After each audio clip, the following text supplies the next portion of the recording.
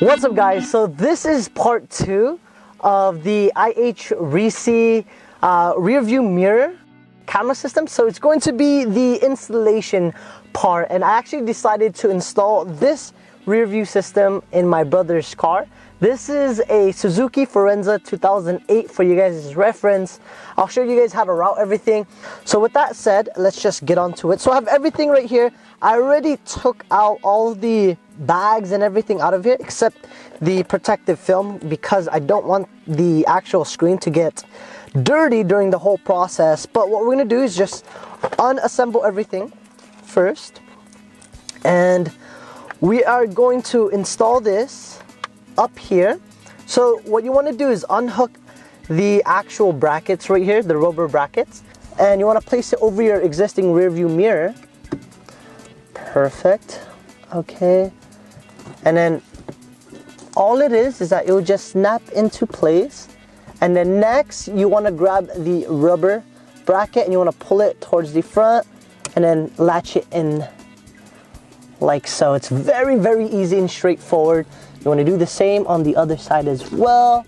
Make sure, if you guys don't see the actual bracket right here, you wanna just push it down and then pull it.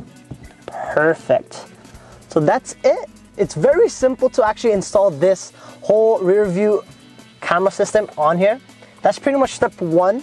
So we are good right there. So what we're gonna do is we're just gonna plug in everything just to make sure the whole system is working. So, because the last thing you wanna do is you wanna you don't wanna route every single thing properly and the next thing you know it, the backup camera doesn't work or something is not working and then you just have to return it or whatever the reason is. So I'm gonna grab the long cigarette lighter right here because in the long run we're actually gonna use this. I'm just gonna plug it in here just for now. Perfect. Car is not turned on right now. And then this would bring power to, to your actual rear view mirror. And the thing I don't like about this is that it's actually not a right angle. Uh, the reason why I don't like that is because when you push it up, so depending on your car, it might hit this. At least in this Suzuki, it's actually perfect. So that's good. But depending on your car, you might not like that, give or take. All right, so now this is the cable for the rear view camera. You wanna plug this part into the AV in connector on the top. And the AV is just right next to the power. Next, you wanna grab the connector right here. And then you wanna plug in the rear view camera into this. It's very simple. There will be a slit on the actual rear view camera part and there will be a little groove on the connector itself. So you just wanna make sure you line those up and then push down. There's also an arrow to let you know where that part is if for whatever reason you're having difficulty trying to find that. All right, so that is it. All right, so I just actually turned on the accessory mode in this car. Show you guys that there's a red LED light in the cigarette adapter to let you know there's power. Now, let's go to the actual unit. Press and hold until it boots up. Okay. All right, so it just booted up. Took a little while, but not bad. Everything is in the right side right here. Front camera is working. Now, let's see if the reverse camera is working as well. Perfect. I want to show you guys that the bracket right here has to be on the top because I want to show you guys right here. If it's in the bottom, I will be upside down. And if you make sure the bracket's on top, then uh, the actual image on the rear view camera will be right side up. So make sure you guys have the bracket facing up. Perfect, so everything seems to be working really well. So let's turn this off. Perfect, and then turn off your car. Now we are going to route the rear view camera wire from the top all the way around here. There's a lot of different ways to do it. You guys could route it and go all the way down and then towards the back. The way I'm more comfortable in doing it and the way I like it is actually routing the wire to the top and all the way to the roof of it. So um, that's how I'm gonna show you guys. Just depending on you guys, it just really depends. But from here, it's super simple. what you want to do is you want to grab the wire and then just start tucking it to the inside of the roof and then start wiring it through. It's that simple. And then depending on your car, it might be easier or harder, but that's all you have to do. So we finished routing it through here. What I did was I just grabbed the flathead and then slightly pushed down right here and then turned it to the side so it creates a small gap just enough where I could push it in uh, so you're not damaging any of the part right here of the car next what we're going to do is we're going to pull back the seal and then we're just gonna wire this through like so. So you just want to just tuck it in all the way to the back and then that's it. As you guys could see right here it doesn't look bad at all. So we're gonna do that all the way from here towards right here and then I'll go back and then show you guys what the progress is okay?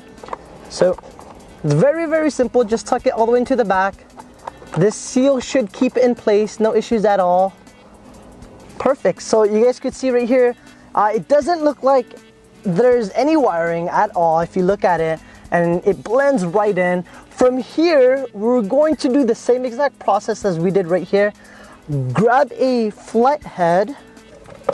you want to grab a flat head, kind of push it down in right here, and then twist it to the side so you could have a little bit of room to push your wires through like so. It's super easy with the flathead and take your time with this. You want to make sure all the cables are tucked in because if you guys are like me, I hate cables showing at all. So we're just going to take our time. It's very, very simple. Create gaps. And if for whatever reason it's difficult to get that gap, just make sure you look at what's trying what's blocking it. There you go. So we routed the wire from here towards the top of the roof, all the way towards here, and then we tuck the wire through here all the way up here and then here. So now we just got the back seat and then going towards the trunk and then we're almost done. All right so now we are in the back. Perfect. Okay so now we're just going to tuck this in like what we did previously. Take your time don't rush it. Then this part actually came off which is fine.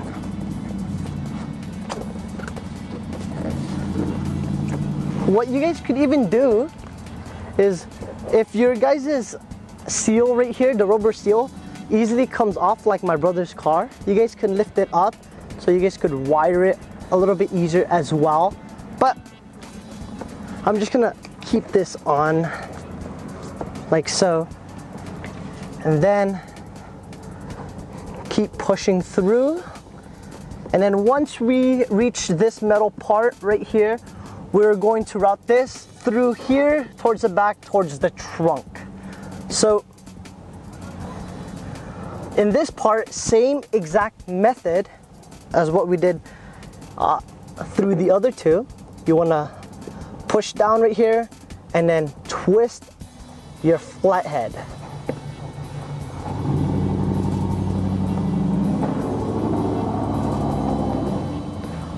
Perfect.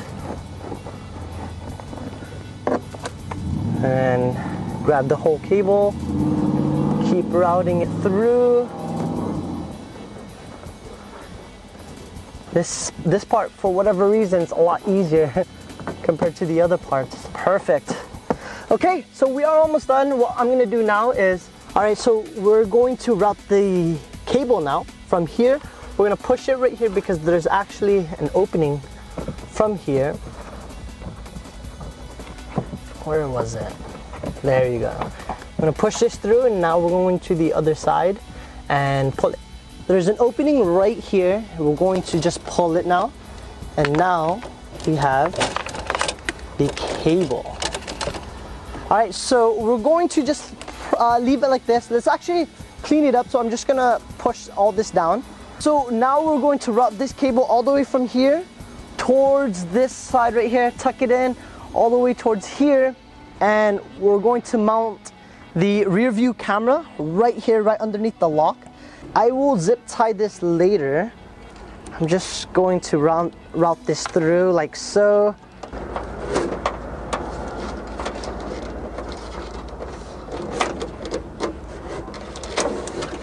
Perfect.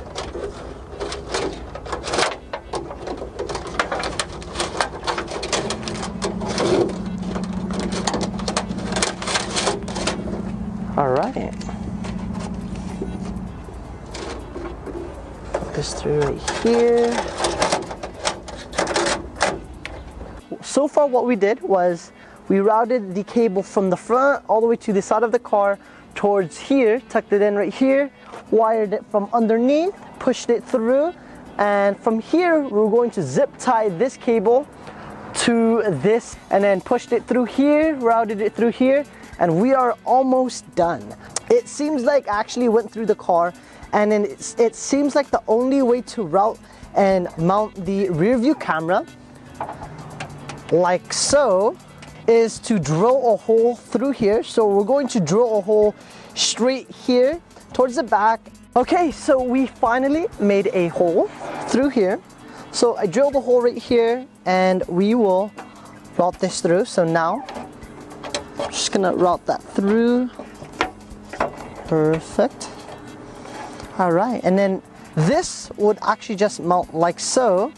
Probably push it back so it's almost flush with the actual car or the trunk itself. All right guys, so we got the rear view camera right here. We threaded it through right here through using the hole that we just drilled in.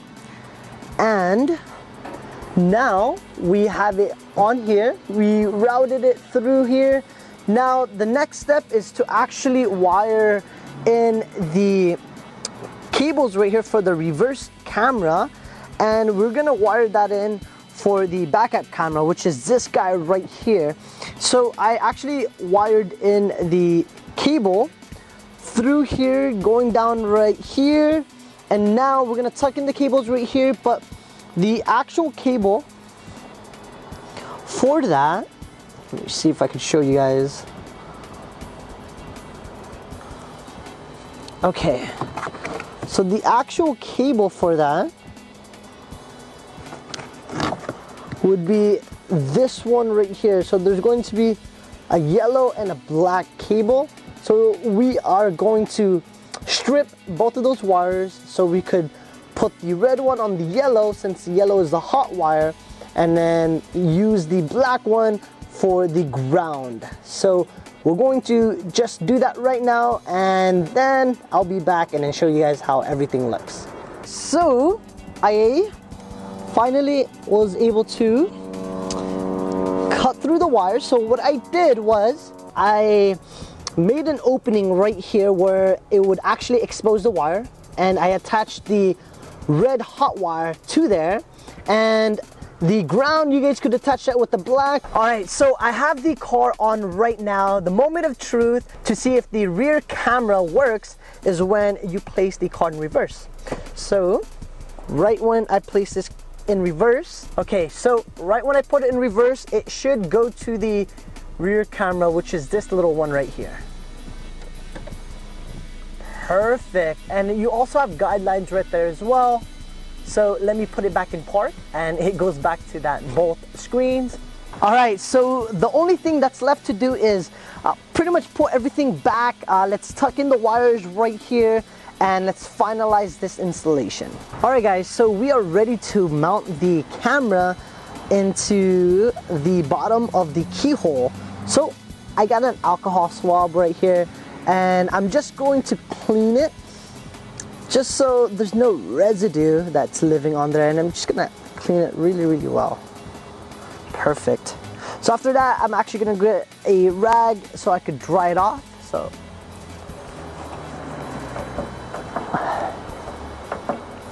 Perfect. So now you want to you you want to remove the yellow part so you could expose the adhesive and what I'm actually to do is I'm going to line it up so the tip of the camera the rear view camera would almost stay flush to the keyhole on there on the ridge. Alright guys, so this is day two of the installation of the rear view camera system by IR Reese. The reason why it's day two is because I actually finished wiring everything yesterday, the video that you guys just saw like a few seconds ago. But the reason why it's day two was because it, the lighting just got a little darker and it was a lot difficult to give you guys a good view of everything. So I just decided to just stop and film the next day. So the only thing that we're going to do is route the charging cable so it's not dangling down right here. Uh, I'm the type of person that does not like to, you know, have cables around as you guys noticed with the first cable. So we're going to wire the charging port the same exact way as the rear view camera. So we're gonna route it all the way up here, around here, but instead of going up, we're going down, around underneath the steering wheel towards the gas pedal and brake, and then through here. So it should be relatively easy and simple. Make sure you guys have a flathead screwdriver because we're going to need this to help us tuck it in right here. So right here, let's just start tucking it in. At least in this car, this part is easy. Now right here, we're going to use the flathead and you're going to push it in and then from there you're going to twist it and that would create enough space for us to tuck it in, to tuck in the cable. Perfect, we're almost there. Just gonna push this in with the flathead. Perfect, perfect. So right here, we're going to tuck this in. We're almost there. It's a very easy process. Just don't rush it. So now we're just gonna tuck this in. All right guys, so now from here, we're going to tuck the cable through here uh, against the fuse box and then underneath there. So in order to tuck it in easier, I'm just going to remove the panel from there, perfect. And then from here, let's tuck it in.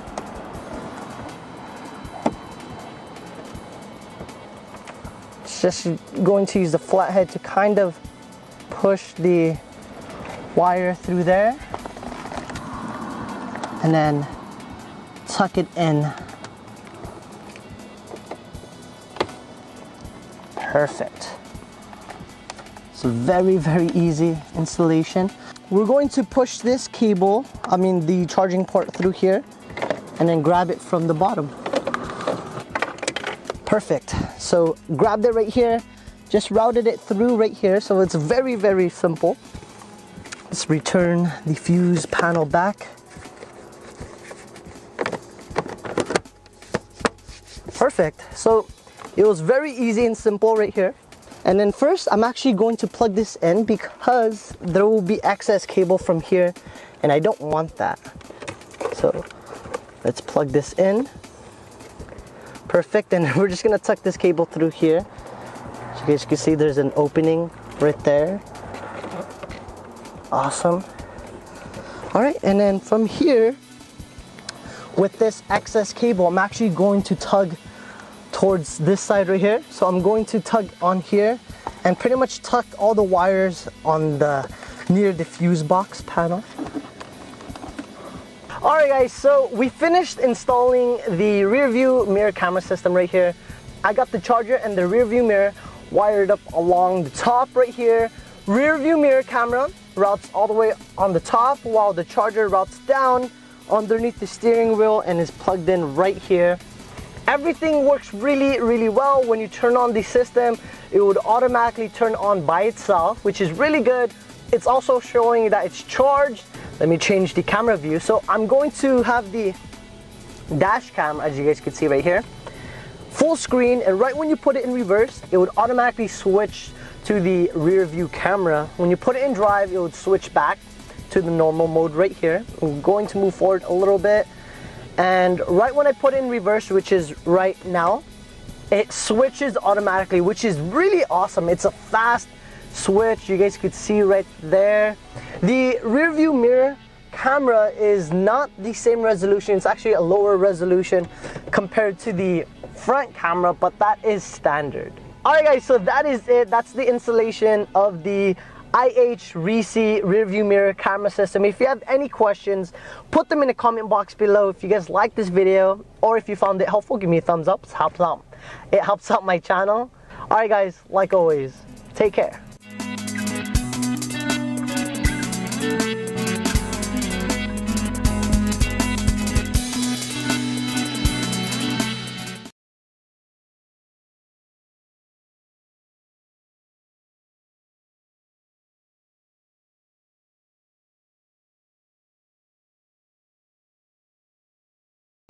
Greetings and welcome back to Fun with Dashcams. This is going to be video 6 Charlie.